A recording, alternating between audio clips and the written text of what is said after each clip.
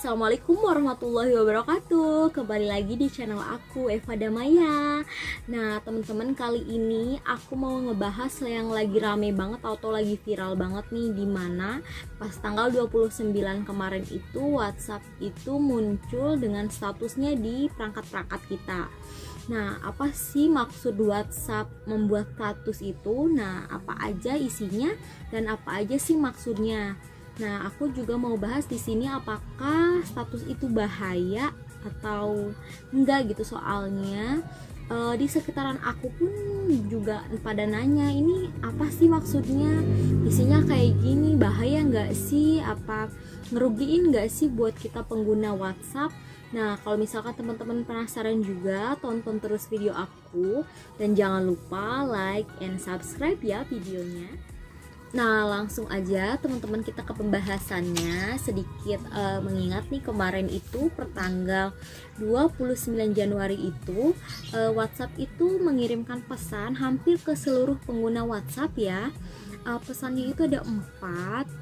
Uh, nah, uh, dikirimnya itu aku nggak tahu pastinya jam berapa, mungkin dini hari. Soalnya jam 3 malam aja aku buka handphone itu udah ada. Nah, apa aja sih isi uh, pesannya itu? Kita bahas ya di pembahasan kali ini. Nah, soalnya teman-teman aku, saudara, hampir semua orang tuh pada nanya ini kenapa sih gitu. Bahaya nggak sih? Soalnya di beberapa status di Facebook itu itu rame banget gitu katanya yang bakalan ngeganggu privasi kita, segala akun bank atau apa aku juga nggak ngerti maksudnya apa soalnya dalam bahasa Malaysia waktu aku lihat itu Nah, di sini kita langsung aja bahas ya. Nah, uh, pesan yang pertama itu uh, seperti ini. Nah, bunyinya itu adalah WhatsApp sekarang membagikan informasi di status. Di sini Anda dapat mengetahui informasi dan fitur lain. Nah, mungkin uh, maksud pesan di sini adalah WhatsApp itu akan lebih transparan. Uh, kalau misalkan ada peraturan atau privasi atau kebijakan-kebijakan yang akan WhatsApp keluarkan. Nah, jadi uh, nggak langsung nih, tapi teman-teman uh, WhatsApp itu kalau seandainya ada sistem baru, ada kebijakan baru, dia itu bakalan menghubungi kita mungkin dengan cara uh, status kayak kemarin nih. Nah begitu jadi di sini itu dia cuma uh, mau ngasih tahu kayak gitu teman-teman yang nomor satu itu. Nah yang nomor dua uh, kita lanjut ke nomor dua ya. Di sini bunyinya kayak gini Nah, itu isinya satu hal yang tidak baru adalah komitmen kami terhadap privasi Anda. Nah, uh, mungkin uh, si WhatsApp itu mau mengklarifikasi nih, soalnya akhir-akhir ini tuh banyak banget kabar yang simpang siur, yang uh, negatif ya uh, soal WhatsApp gitu kan dan itu juga belum tentu kebenarannya.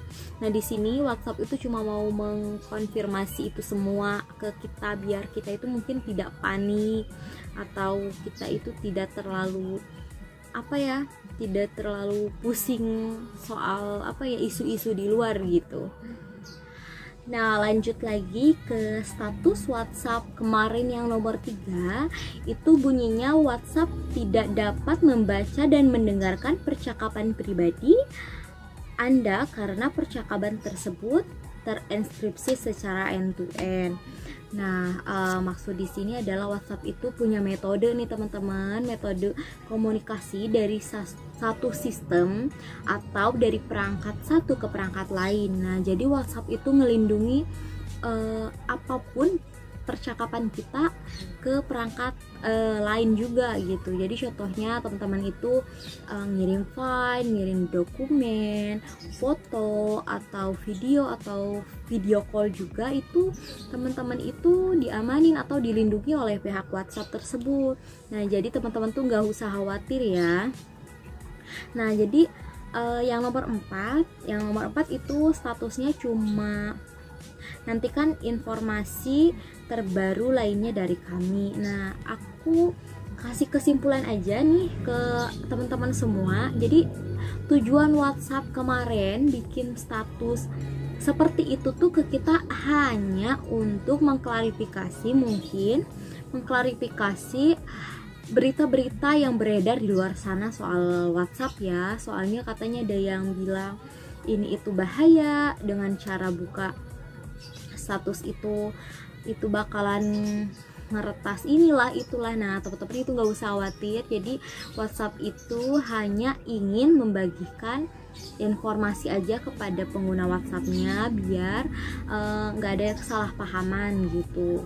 Nah jadi teman-teman gak usah khawatir ya. Nah bila kalau seandainya teman-teman punya uh, apa punya pengalaman nih uh, atau kepanikan teman-teman kemarin soalnya wajar banget ya soalnya di Facebook itu udah banyak banget berita yang simpang siur soal ini. Nah teman-teman gak usah khawatir pokoknya. Nah ini tuh aman ya teman-teman Nah, jangan lupa ya, uh, kalian bisa komentar di bawah pengalaman kalian atau keluarga kalian gara-gara status seperti ini gitu. Nah, gitu aja teman-teman. Semoga video ini bermanfaat. Dan jangan lupa ya, like, comment, and subscribe-nya. Assalamualaikum warahmatullahi wabarakatuh.